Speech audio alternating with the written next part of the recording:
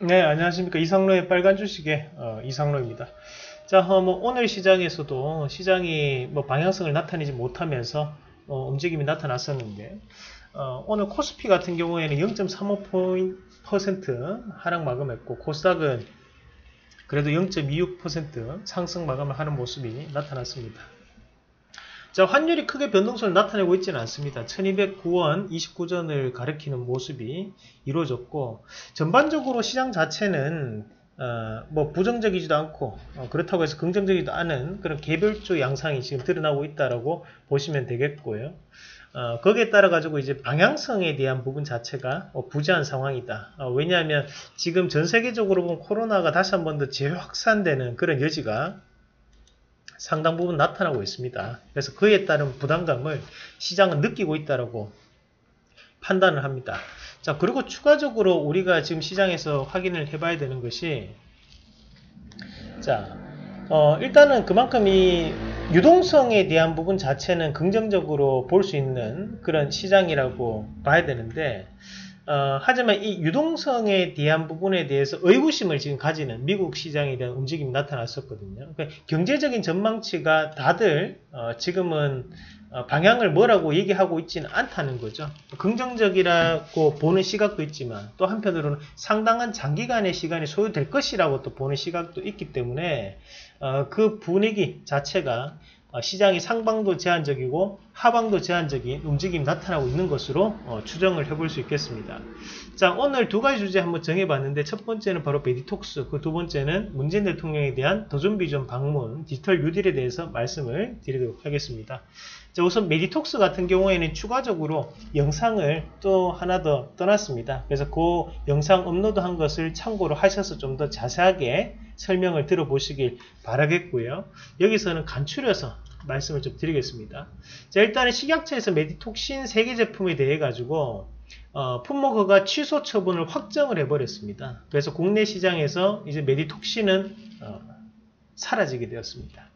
자, 무허가 원액 사용, 허위 서류 기재 등 약사법 위반 혐의로 어, 이런 처분을 내렸고 자, 어, 일단은 메디톡스 같은 경우에는 이렇게 판매 금지 조치가 되고 난 다음에 1년 동안은 판매를 할 수가 없습니다.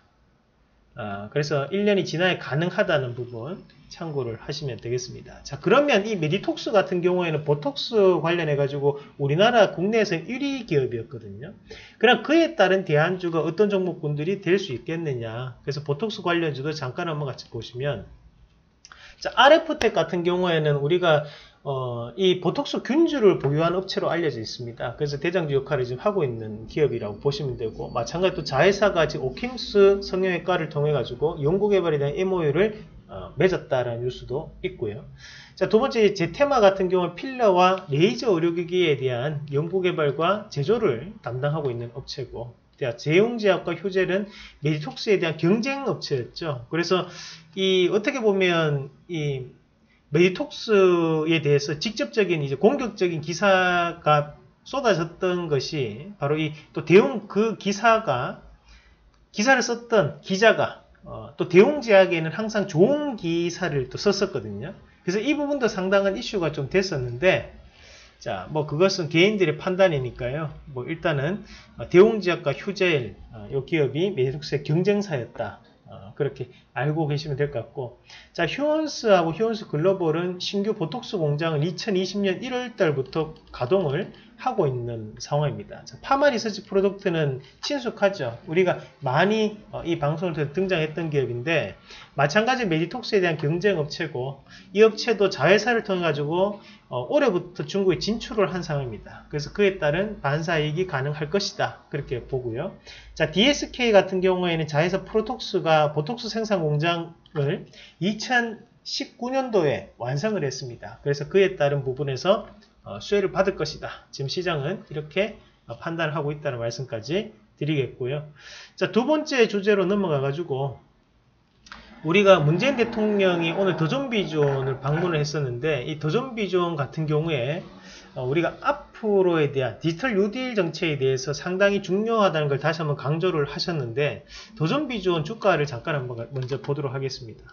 자, 도전비존 같은 경우에는 우리가 사실 지금 이제 11만 2천원까지 올라왔지만 요거를 우리가 2017년도와 어, 그리고 2016년 말에 이 기업에 대해서 공략을 좀 했었죠. 그때도 마찬가지로 얘기를 했던 것이 세무회계 관련 프로그램을 운영하는 업체다. 그리고 여기에서 박스권에 대한 돌파가 이루어지는 이 시점에서 제가 머니투데이 방송에서 어, 함께 하시던 그 가족분들하고 같이 매매를 했던 기업이었었는데 저도 이만큼 올라갈 줄 몰랐습니다. 그만큼 시장에 대한 분위기가 상당 부분 타면서 올라가는 부분이었고 지금도 마찬가지로 세무회계 프로그램에 대한 매출이 많이 나오는 기업이에요.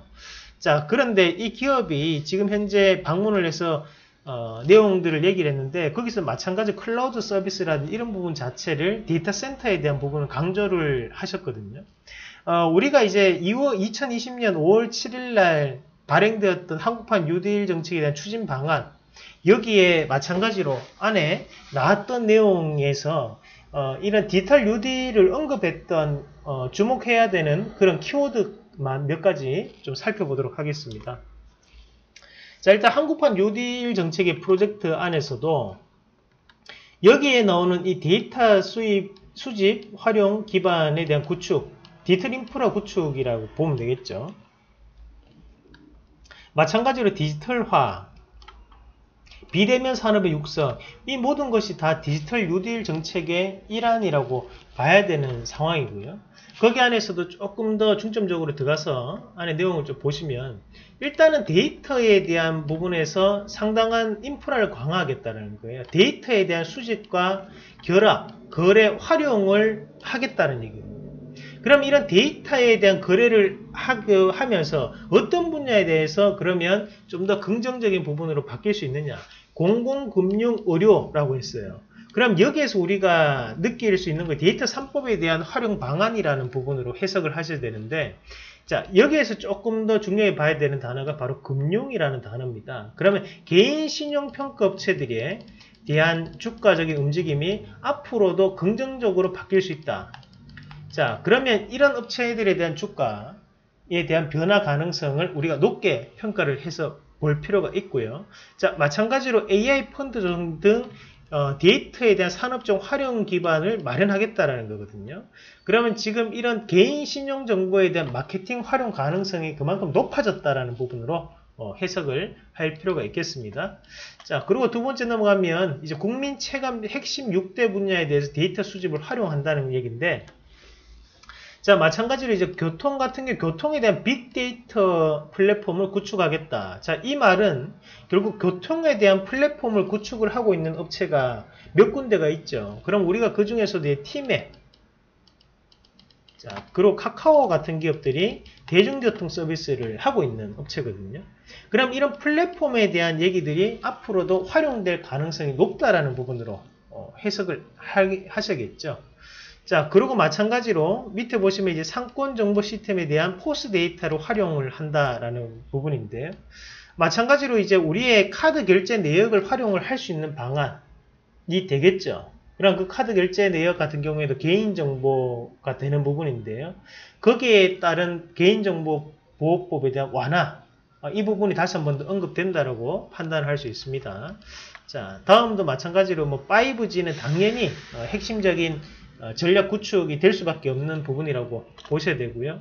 자, AI가 또 나오죠. 그러면 AI 기업들이 전일 같은 경우에도 모습이 상당히 좋았었는데 앞으로에 대한 움직임도 상당히 좋을 수 있다. 그러면 의료 AI 관련돼서 우리가 또 많이 말씀을 드렸던 기업이 있어요. 그 기업도 다시 한 번 더 체크를 하면서 보실 필요가 있다라는 말씀까지 드리겠습니다. 자, 빅데이터 얘기도 계속 나오죠. 그러니까 빅데이터 관련 주, 주, 주들도 확인을 꼭 하셔야 됩니다. 자, 그리고 음성하고 행동 인식. 자, 이런 내용들도 우리가 꼭 참고를 하셔서 봐야 됩니다. 자, 그러고 난 다음 장 나오면 이제 교육 콘텐츠에 대한 부분이 나옵니다. 어, 그러면 지금은 비대면에 의해서 이런 교육 콘텐츠를 활용할 수 있는 기업들 어, 그 기업에 대해서도 관심을 조금 가질 필요가 있겠죠. 자, 그러고 난 다음에 이제 클라우드 서비스에 대한 얘기가 나오고 사이버 안전망을 강화하겠다는 얘기 나와요. 자, 그러면 사이버 보안에 대한 위협을 대비하고 정보 보호 전문 인력을 양성을 확대하겠다는 얘기죠. 그리고 블록체인이라는 단어가 나오거든요. 자, 그럼 여기 중요한 것이 이제 블록체인, 클라우드 서비스, 그리고 사이버 안전망 아, 저, 그럼 우리가 결국 클라우드 서비스 기업, 블록체인 관련 기업, 그리고 보안 관련 기업들은 앞으로에 대한 성장 가능성이 높다라고 봐야 되거든요. 그러면 지금 당장은 어, 이런 개별주 장세 속에서 조금 조정이 보이고 있지만 결국에는 다시 한 번 더 시세적인 탄력을 상당히 붙일 수 있는 단계라고 봐야 됩니다. 자, 다음 장도 넘어가겠습니다. 자, 안전, 편리한 국민 생활을 위한 SOC 디지털. 여기에서 이제 중요한 것이 앞서 봤던 이제 교통 플랫폼에 대한 얘기인데, 그럼 우리가 티맵이라든지 또는 카카오 같은 기업들에 대해서 어, 움직임이 나타날 수 있죠. 그러면 이 티맵 관련된 업체는 알고 계시죠? 어, 그 업체를 또 그 업체 충분히 추가적인 부분에서 변화 가능성이 있다라는 부분으로 어, 해석을 하시면 되겠습니다. 자, 그래서 이렇게 우리가 한번 같이 분석을 해봤는데요. 어, 사실 뭐 디지털 뉴딜, 우리나라에 이런 소프트웨어 관련 업종에 대한 종목군들이 상당히 많습니다. 특히 그 중에서 또 잡주도 엄청 많은 게 또 현실입니다. 어, 하지만 그런 성장주로서에 대한 역할이 가능한 종목군들이기 때문에 앞서서 말씀드렸던 그런 키워드들을 기억하시면서 어, 좀더 눈여겨보시면 좋겠다는 말씀까지 함께 드리도록 하겠습니다. 자 그러면 내일장 관심 종목군 어, 같이 보시면 우리가 어, 제 같은 한글과 컴퓨터인데 그런 종목군들도 결국 이런 빅데이터 그리고 클라우드 서비스 관련주가 되겠죠. 자, 파마 리서치 프로덕트는 우리가 보톡스 관련주라고 말씀드렸죠. 그래서 그게 중국 진출했기 때문에 그에 따른 영향으로 이 파마 리서치 프로덕트도 많이 말씀드렸었는데 주가 추이 잠깐 보도록 할게요.